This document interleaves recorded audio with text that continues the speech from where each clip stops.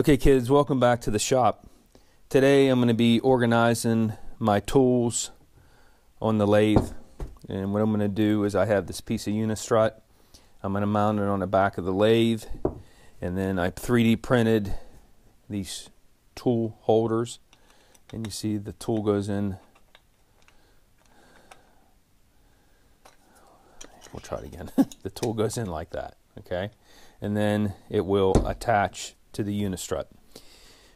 They make these fancy Unistrut bolts. I'm not sure what they're called. They have a spring on them and they fit in here like this and they stay put and as you can see they have this area milled out if you want to say so it sits right in the channel these things are expensive so what I did was I went on GrabCAD and I found some and I 3D printed them then while I was doing that, I figured, well, screw it.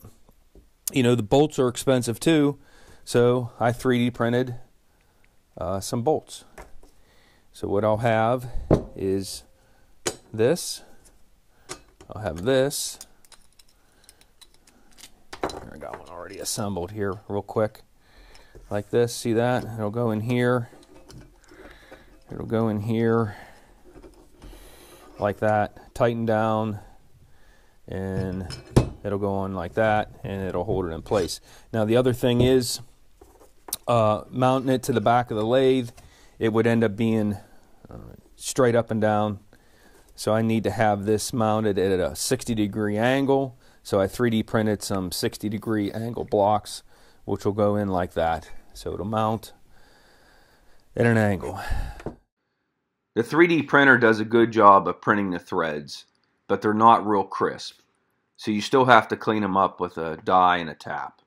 I'm going to run the tap through these T-nuts. So that worked out good. I'll fly right through these bolts, right? Yeah, stay tuned. Well, let's grab the drill with the hex head, see what happens. And you guessed it, I stripped it out. So I spend the next several hours, yes, several hours trying to figure out how I'm going to fix this. So what I decide on is I'm going to heat the Allen up with that propane torch and melt it into the head of the bolt. This will definitely work, right? This process worked kinda, sorta. It was a real pain in the neck. And remember, I have six of these to do. The problem I would have is sometimes the key would melt deep into the socket head. And if I let it cool, the plastic would melt around the actual hex and it gets stuck into the bolt. I tried different variations of this process and none of them really worked that well. It still was a real pain in the neck.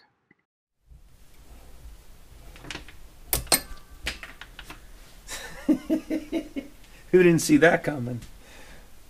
so what happened was, I, if you want to call it broached it, I broached it down so far that it went into the threads. And look, it compromised it. So, because I didn't print these, I don't even know what it, I think I did 20% on these. Now I gotta get this out. This is where I had a revelation.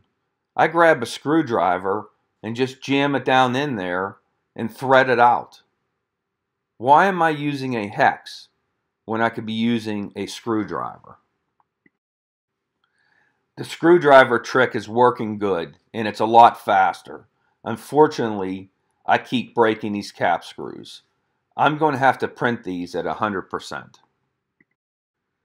I get the Unistrut installed using those 60 degree wedges. I just bolt the Unistrut to that lip on the back of the lathe. These things are working just as I intended, easy to install and easy to adjust. I make a slight adjustment to the holder so it can accept my chuck key and my wrench.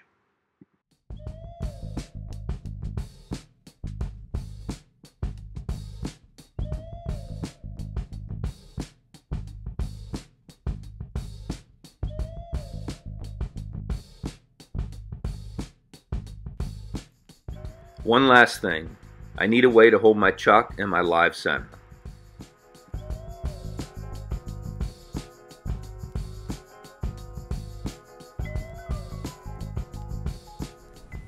Okay, there we go. That's working out pretty good. I'm okay with that. I have a spare one for the tool that's on the lathe. I have these, obviously. Have one for my wrench. That wrench will be used right here to loosen that. That's how we spin this if we have to. And then, of course, the drill chuck in the live center. So everything's right here at my fingertips. I think this worked out pretty good. After about a month of use. Well, we have our first casualty of the 3D printed holders. Uh, this was holding the chuck key, and you know, I knew this was going to happen. You know, you have to pull it all the way out like this. Well, I was grabbing it like this and pulling, and I broke it. Besides that one problem, these have been working out really well. Leave a comment. Thanks for watching. Please subscribe.